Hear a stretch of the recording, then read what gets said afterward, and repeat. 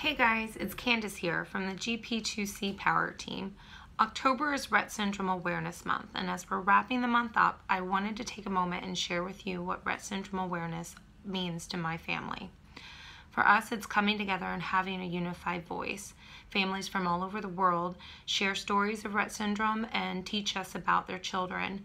In doing so, that allows us to shape the way Rett syndrome will be viewed in the future. I also wanted to take a minute to talk to you about how Girl Power to Cure has impacted our lives. Apart from growing hope, they also have given us a family.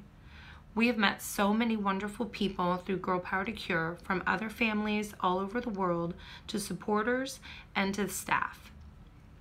For that, we're very thankful for the community that Girl Power to Cure has built.